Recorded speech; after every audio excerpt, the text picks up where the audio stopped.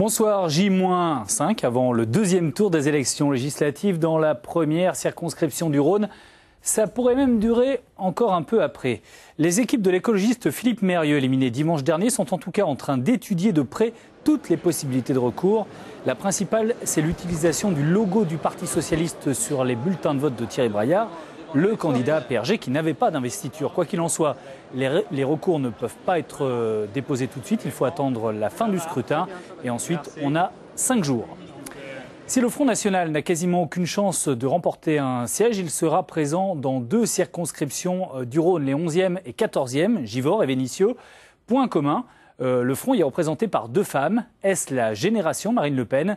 Sophie Valzecki et Christian Kongsiker ont rencontré les candidates. L'une a l'EPS en ligne de mire, l'autre l'UMP. Ces deux militantes frontistes sont les surprises de ces législatives. Sandrine Ligou et Agnès Henry viennent déposer leur candidature à la préfecture du Rhône. Un peu plus tôt ce matin à Montagny, Agnès Henry fait campagne auprès des commerçants locaux. Elle enregistre un peu plus de 5000 voix de retard sur son concurrent, l'UMP Georges Fenech.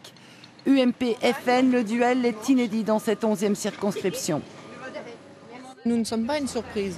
Si nous sommes là, c'est que nous sommes quand même le résultat d'un vote, euh, le résultat d'un mal-être en France, euh, le résultat de, la politique qui a été menée jusqu'à présent. Mais je pense aussi que la gauche s'est éliminée toute seule. Dans la 14e circonscription du Rhône, c'est justement la gauche que devra affronter Sandrine Ligou. Elle est devancée par le socialiste Yves Blin de 5000 voix. 5866 voix, c'est exactement le score réalisé par l'UMP au premier tour. Alors pour l'emporter dimanche, Sandrine Ligou compte sur cet électorat de droite. De toute façon, les électeurs maintenant ont de plus en plus de mal à se reconnaître dans leurs élites. Donc euh, après, les gens, vous ne les maîtrisez pas, ils font ce qu'ils veulent. Et euh, eux, par contre, se reconnaissent euh, en nous, puisqu'ils sont majoritairement d'accord pour faire alliance avec le Front National et pas leurs élites. La direction de l'UMP a annoncé qu'elle n'appellera pas à un front républicain pour ce deuxième tour des législatives, ni FN ni PS. Leurs deux adversaires sont respectivement donc un UMP, Georges Fenech dans la 11e, et un socialiste, Yves Blin, dans la 14e. Le premier a le soutien euh, de la gauche, Gérard Collomb en particulier, le second, pas forcément celui de la droite. Oh, je trouve que c'est une petite lâcheté. Euh, quand euh, la situation s'est posée euh, que Jacques Chirac et euh, Le Pen étaient euh, candidats à l'élection présidentielle, le Parti socialiste a pris ses responsabilités. On ne peut pas donner quelque crédit que ce soit à des candidats du Front National. Ils véhiculent une idéologie qui est insupportable. Givor fait partie du Grand Lyon. Normal que le président du Grand Lyon intervienne dans ce débat qui m'oppose au Front National. Et son appel est très clair. Et il va dans la ligne aussi de tous les maires de la circonscription qui m'ont apporté leur soutien ou qui ont demandé à faire barrage au Front National. L'entre-deux-tours des législatives, c'est très court. Les candidats ont une toute petite semaine pour faire campagne et pour réimprimer toute la volumineuse paperasse, les bulletins, les professions de foi, les affiches. Pas de temps à perdre donc, et pour ça, il faut un pro. Alain Sidbon, 75 ans, imprimeur, connaît tous les politiques, et tous les politiques le connaissent. Jean Perrier, Mouloudaïsou. Salle des résultats en préfecture, les soirs d'élection, tous les politiques y passent. Et il les connaît tous. Et s'il ne les connaît pas, il se renseigne. Peut-être un futur client. Avec le téléphone à la main. C'est qui ça Il a imprimé son premier bulletin en 1964, conseillant tout plus de 6000 candidats. Pour ces législatives, rien que sur le Rhône, il suivait 12 politiques, dont deux étaient opposés sur la même circonscription. J'adore mon métier. Je le fais avec un, un tel plaisir que l'étiquette politique, quand le client rentre chez, rentre chez moi, je, ne vois pas son étiquette politique, je vois le client. Ouais, ouais. Tiens, mais qui est arrivé, ça y est. Attends, on va, aller, on va lui rendre visite. Hein. Plus l'heure avance, plus les perdants se font rares, plus les gagnants, les qualifiés du second tour, se font pressants. Quand il y a des gens qui depuis 20 ans vous disent allez, ne lâche pas, bah, ça fait plaisir, oui, voilà. Tout est prêt, tous les documents sont prêts pour euh, le second tour? Non, parce qu'on on était très respectueux du scrutin. On va s'y mettre euh, tout à l'heure. De fait, ils ont travaillé une bonne partie de la nuit ensemble. Ensuite, hier, ce fut embouteillage pour des candidats qui peaufinent le moindre détail. La petite retouche photo, la virgule qui, paraît-il, change tout. Euh, la profession de foi du second tour. Et puis, euh, les bulletins de vote à finir de préparer.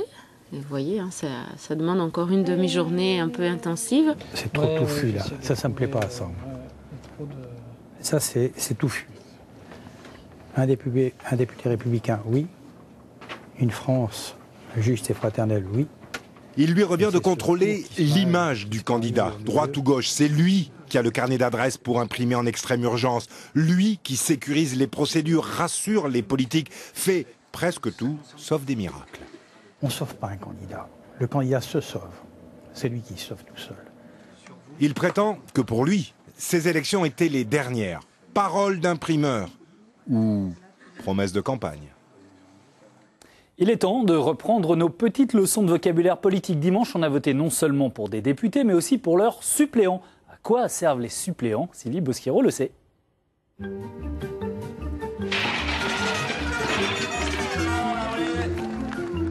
Le suppléant est au député ce que la route secours est au pneu, une doublure certes provisoire, mais indispensable. Le suppléant est élu en même temps que le député, c'est son nombre porté, son jumeau parlementaire en quelque sorte. C'est souvent en cas de poisse que le suppléant sort du bois, entendez, quand le député passe l'arme à gauche.